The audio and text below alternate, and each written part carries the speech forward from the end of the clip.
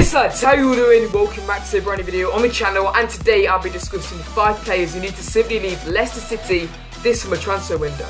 So with the loan list at King Power Stadium continuing to grow and a large number of deadwood currently lying in the first team squad, it's looking highly likely that the team heading into the up and coming Premier League season is going to be extremely big, making it very difficult for Brendan Rodgers and his staff to manage. Obviously, they have to get it down to a 25-man squad for the Premier League season, and that means they're going to have to offload quite a few players head, heading into the season, making it very difficult for Brendan Rodgers and his staff to make those crucial decisions. But with that being said, of course, with the possibility of Champions League football returning to the King Power Stadium for the up and coming season, obviously a large squad is required for Leicester City to compete successfully in either Premier League and Champions League campaigns. But realistically, also the players out alone and some of the players who are simply not getting into first team really up to the Champions League standard, probably not.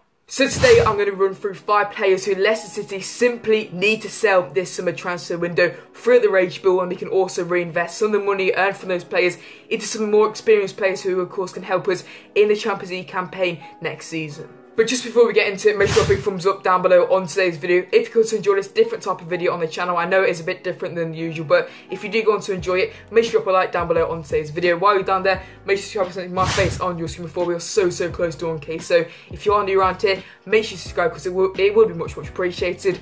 Also subscribe to my new group channel, The Full 90. There'll be other football content on there, so yeah, there'll be links to that in the description down below.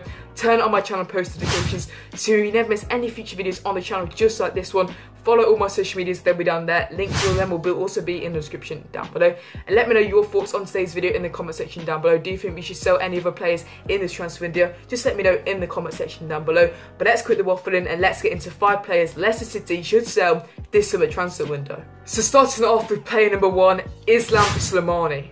So the Algerian international arrived at the King Power Stadium in the summer transfer window of 2016 for a record at the time of £28 million. The 31-year-old currently plays his football out on loan at AS Monaco. He also had two loan spells before that where he went to Fenerbahce and Newcastle United after he left Leicester City to go out on loan in the January transfer window of 2018. In his time at Leicester City, he played 35 games for the club and he only scored 8 goals, which isn't very good for a striker. I thought he was pretty good in his first season for the Foxes. He, started most games alongside Jamie Vardy under Claudio Ranieri. Didn't really get into the team under Craig Shakespeare in that season. I thought he performed fairly well in our Champions League campaign that season, but in the next season he didn't really cut it. Of course, Jamie Vardy is always going to be a difficult man to replace, and with the likes of Shinji Okazaki still in the squad, it was always going to be an uphill task for the Algerian international. Looking at his other loan spells, of course, first of all, he went out on loan to Newcastle United in the Premier League. He only played four games for the Magpies and scored zero goals.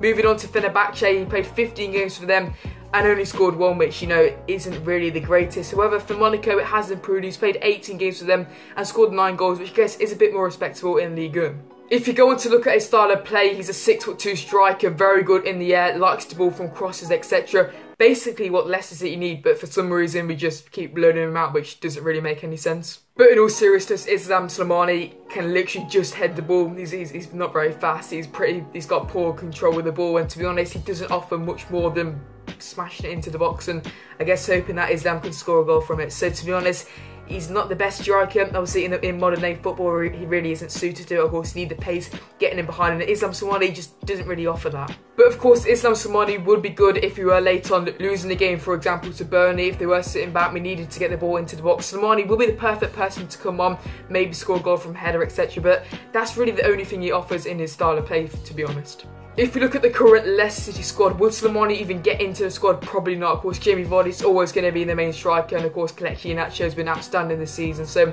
to be perfectly honest, Slimani probably he just wouldn't get into the squad, and he probably he just wouldn't get his chance. So that is the main reason why he probably should leave. He's just not going to get into the squad. And to be honest, if you keep loaning him out, it's just not going to do Leicester or him the best. Brendan Rodgers has also said that he doesn't really have any plans for Islam Slimani going forward. So I think that really sums up. I think Islam Slimani should leave Leicester. I think we get a decent price for him. They could feel it free at the wage bill. And think it would do the best for Islam Slimani's career and for Leicester City as well going forward. Of course, if you do go on to sell Islam Slimani, I will be looking at around 10 to 15 million pounds for the Algerian international. Of course, he is an international player. He does have the experience and we could get some decent money for him depending on where he goes. So I think we could get around 10 million for the Algerian international. But, but I honestly think the best thing would, would be for him to leave Leicester City, and that is probably the main reason. Of course, Brendan Rodgers has no plans for him, and there's no point him staying at the club. And if, if you keep loaning him out, there's no point for Leicester to do it. So that is probably the main reason why Slimani should be sold this summer for Leicester City. So now moving on to player number two, Adrien Silva. So the Portuguese international arrived at the King Power Stadium in 2017, but he didn't actually get to play until 2018 because somehow we signed him 14 seconds late, which doesn't make any sense. But he arrived for 22 million pound. He came with a big reputation of Portuguese international. To be honest, most Leicester fans thought he would slot straight into midfield, and I think, uh, to be honest, I thought it would be a brilliant signing, and it didn't really turn out that way, did it? So he's only really played a season at Leicester. He played the back end of the 2018 season and he also stayed for the first half of the 2019 season under Claude Puel. And then, of course, he left in the January transfer window of 2019 to Monaco, where he's played the last two seasons in, in Ligue 1, just like Islam Slimani. At Monaco in his first season, he only played 15 games, got zero goals, and in, and in his second spell at Monaco, he played 22 games and also scored zero goals. I know goals isn't always the best thing for midfielders; it's not the most important. But if you look at those stats, I don't think I don't think he's really done too much in a Monaco shirt, to be perfectly honest. In his first season at Leicester City, in the back end of the 2018 season under Claude Puel, he looked to be a decent player sometimes, but a very very inconsistent player. He looked good towards the end of the season, but in some games he looked very awful. I don't think he could have kept kept up to the flow of English football. Obviously, coming from Portugal, it's a much more slower paced football out there, kind of Spanish type of football. But moving to the Premier League, I think it shocked him with the sheer pace of it. Obviously, it's much more aggressive in the Premier League, and I think Silva just just struggled to get used to the flow and the, and the demand, especially in the midfield in the Premier League team. If you're going to look at actually his style of play, he's a box-to-box midfielder, likes to operate in the same sort of role as Youri Tielemans, likes to pick up the ball, make things happen, start the attacks. But to be honest, at Leicester, he just didn't really show that. He looked very inconsistent, but he showed it at Portugal at the at the international level. He's a good player, but at Leicester, he just didn't really cut it. Of course, with his style of play, we've already got players in the squad who can do that type of thing, such as Youri Tielemans and Dennis Praet. So I don't think he'd really get in with his style of play at Leicester, and I think the best thing for him would just be for Silva to leave Leicester this summer. So if we did go to sell Adrien Silva, I think we could get about five to ten million pounds for the Portuguese international. Obviously, he's just not hitting the levels anymore. Obviously, he's a, he's a good player. He's got a good reputation, good experienced player at the international level. But currently at Monaco, as we've seen, he's just not cutting it, and we, and we saw that at Leicester as well. So I think the future is not looking too good for Adrien Silva. So if he was going to leave the King Power Stadium, I think it would be about five to ten million. I don't think we, we could get too much for Adrien Silva, and that would be a big loss from his 22 million pound transfer fee. So I think the best thing for him will be to leave Leicester City this summer transfer window. So moving on to player number three, Rachid Ghezzal. So the Algerian international arrived at the King Power Stadium in 2018 for a fee of £12.6 million where he played one season for the club under Claude Puel and Brendan Rodgers and then this season he got sent out to Italy where he now plays his football at Fiorentina for the remainder of this season. For the Foxes he's played 19 games and he's only scored one goal for Fiorentina. He's only played 8 games this season which is a big concern for him. Obviously he's, he's gone out on loan there and he just hasn't really got given the chance. He scored zero goals out on loan there so the future is looking bleak for, for Rachid Ghezzal. See, he arrived at the King Power Stadium. before he could be a possible Riyad Mahrez replacement, but he really hasn't came up with that. His only goal came in the Carabao Cup win against Fleetwood Town, and without that, he just didn't really perform under Brendan Rodgers. He didn't really get a chance either. So, to be honest, I don't think Rachid Ghezzal really has a future in, a Leicester shirt. If you're going to look at his style of play, the 28-year-old is a right winger, likes to operate in the same sort of role as Riyad Mahrez when he came before. It could be the possible Riyad Mahrez connection. Obviously, the Algerian international, it could have been the perfect dream, but obviously it didn't really happen. So he likes to do the same as Riyad Mahrez, but obviously he's not as good. He likes to cut in on his left foot sometimes. He's a winger, which uh, to be honest, I thought he could do something. He's quite a skillful winger, but with his end products, he just didn't really have it. Most Leicester players saying he's a very, very skillful winger, but in games he hasn't really shown that. And to be honest, his link-up play and stuff just didn't. I don't think it's just. I don't. I don't know the problem with. He just didn't seem to be in the game too much. He seemed to go in and out and didn't really make an impact on things. And especially on the Brendan Rodgers, he barely even got a chance. If you look at the players currently in the Leicester City squad outright, of course, we have Harvey Barnes, Demarai Gray, who's Paris, who are the main wide players. And will Rachid Ghezzal get into that? Probably not. I think Demarai Gray is better than Ghezzal. So if, if you're better than Demarai Gray, it's probably best for you to go. So I don't think he would even get in. And as possible, there's, there's been it's been heavily linked that Leicester are going to be signing a winger in the summer transfer window as well. So to be honest, Rachid Ghezzal is looking very, very slim that he will even be given a chance at Leicester City ever again. If we did go to sell Rachid Ghezzal this summer transfer window, same as Adrien Silva, I think we could get about 5 to 10 million. Obviously, arrived for 12 million, so it isn't the biggest of losses. But to be honest, Rachid Ghezzal, I think his career has been heavily damaged coming to Leicester City. I just think the English game just didn't really suit him. I think it would be better for him to go maybe back out to France. Obviously, I wouldn't expect him to stay at Fiorentina because he's just not given a chance there. So I'll say around 5 to 10 million for Rachid Ghezzal. Obviously, he's still young at 28. He's around at his prime right now, but I think if he can move somewhere else, he could rescue his career. But yeah, I, I, just don't think has a future at Leicester. Of course, the players we have now, he's just not going to cut in. Brendan Rodgers just doesn't look like he's going to be interested in using him. So yeah, that is the main reason why Rachid Ghezzal should leave Leicester City this summer. So moving on to player number four, Demarai Gray. So the English international arrived from Birmingham City in the January transfer window of 2016 for a fee of £4.5 million. He's currently only 23, which is my only concern with selling Demarai Gray, but He's stayed at Leicester City for those four years and he's been very in and out of the squad, very inconsistent. He's sure to get a good run of form going out wide, but it's a difficult one for me with Demarai Gray. He's a good player, but to be honest, especially this season, just haven't really cut it in a Leicester shirt.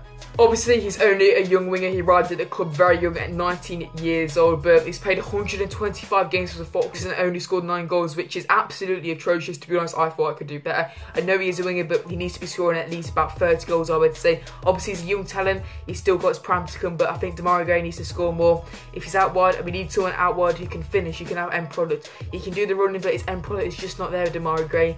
And he's, I think, to be honest, this season, I think he's been trying too hard, to be honest, with Demarai Gray. So I think it's probably the best thing for him will be to leave Leicester. The fans are getting on his back now. So yeah, it's a, it's a tough one with Gray, but I just think his end product's just not there. And with the likes of Harvey Barnes performing really well this season and Ayoze Perez, I just don't think Demarai Gray will, will, will get a good chance under Brendan Rodgers if Brendan Rodgers stays at Leicester City. If you're going to look at Demarai Gray's style of play, he's a winger, a fast winger. He's he has good skill, but to be honest, the only thing with Demarai Gray, his his end product, which is the only problem, probably the most important thing.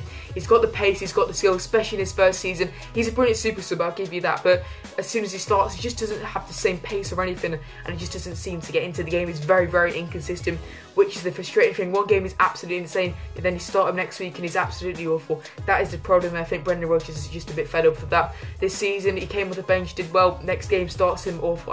It's a difficult one. Demarai Gray is probably the most inconsistent player I've ever seen. He has flashes of absolute brilliance, and then sometimes he's just he's just very in and out of the game. And it's just a difficult one Demar with. And I think the players who have now, with the likes of Harvey Barnes and Ayoze Perez out wide, I think it's going to find it very difficult to get into the Leicester side. So if we did go on to sell Demarai Gray, of course, he is a youngster, an English international, which is always going to boost the price up. Some Premier League clubs are interested in him. I think Bournemouth are interested with him. So if you are going to sell him, I think we could get around 15 to 20 million of course, with, with, him being young and English international, it's always going to boost the price up. So it's a difficult one with Demarai Gray. We could we, we could really re regret this. He could turn out to be a brilliant winger, but at the moment, he's just not cut it, cutting it in the Leicester shirt. And I think the best thing for him will be to go out to another Premier League or Championship club where he can get regular game time, and then we can see the real Demarai Gray and see what it's like. Possibly we could learn him out and then see, but I think Demarai Gray just needs to go for his career's sake and for Leicester. He's on a high wage and he's just not really getting into the squad at the moment. I think we can sell him, reinvest that money into a much more experienced winger who can, of course, help us in our Champions League campaign, possibly next season. But Demarai Gray, it's a difficult one. I put it on my Instagram and lots of you guys requested it, so that's why I'm putting it in the video. But yeah, that is the reasons why Demarai Gray should leave Leicester City in the upcoming transfer window. So finally, moving on to player number five, Matty James. So the English international arrived from the Manchester United youth system in 2012 where he spent the remainder of his career at Leicester apart from a short loan spell in 2017 where he went out on them to Barnsley where he played some football there but he didn't really get the game time there. But he's been through all of Leicester, he's played 101 games for the Foxes, 4 goals which isn't the most important thing but he's an absolute Leicester legend is Matthew James but I think his time up at the club is coming to an end. If you're going to look at his style of play he's another box-to-box -box type of midfielder, can also do a defensive role, he played in that role against Liverpool this season in the Premier League where um, yeah, we lost 4 0, but we just not talk about that one. But yeah, obviously, is he realistically, realistically going to get into the squad? Probably not. He's been struck with injuries over the year, which has really damaged his career. I think he got injured in the Great Escape season where he was in, in the squad and he was brilliant that season. But uh, it's a disappointing thing. He could be a good midfielder, but injuries have just ruined his career, really. So yeah, I think his time at Leicester is coming to an end for Matty James. Of course, the Leicester midfield is packed out with players. We've got lots of Dennis Praet, Youri Tielemans who are already in that box-box role. Of course, he, he, can do a defensive job. We've already got Wilfred Ndidi and Hamza Choudhury in that role. So is he gonna is he gonna get into the squad? Probably not as Matt James. And I think the best thing for him, if he wants to stay at Leicester, like I said, he can. He can retire at Leicester. I'll be happy with that. Obviously, he's a Leicester legend, but I think the best thing for him will be to leave to maybe a Championship or League One team, get some regular football to end off his career. So if you were gonna go on to sell Matty James, of course, a 28 year old I know he's at his peak. 28, he's very young, but I just don't think he has anything left in him. Obviously, his injuries have basically ruined his whole career. So, if you were going to sell him, I would say we get about one to five million for him. Obviously, he could do something good if he goes out to maybe a championship club. He could still perform. 28 years old, he's still got a bit, a bit of a chance. But for me, the injuries have just ruined his career and he hasn't really got any consistent football flow and I think it'd be difficult for him to get back into that. He could get another injury again. He's a very injury prone player. So yeah, that is the main reasons why I think Matty James should leave Leicester, City this summer transfer window. So the boys and girls, that is it for today's video. Five players Leicester City should sell this summer transfer window. If you did go on to enjoy it, make sure you drop a like. If you want to see some more videos just like this one with a five player type of thing, make sure you drop a like down below. Make sure you let me know in the comment sections down below. Did you agree with my decisions? Did you not? Let me know in the comment section down below. Make sure you subscribe if you haven't already. We're so, so close to 1k. So subscribe if you are new around here, boys. But yeah, that is it for today's video. I'll be Sports, and I'll see you all in my next video. Peace out.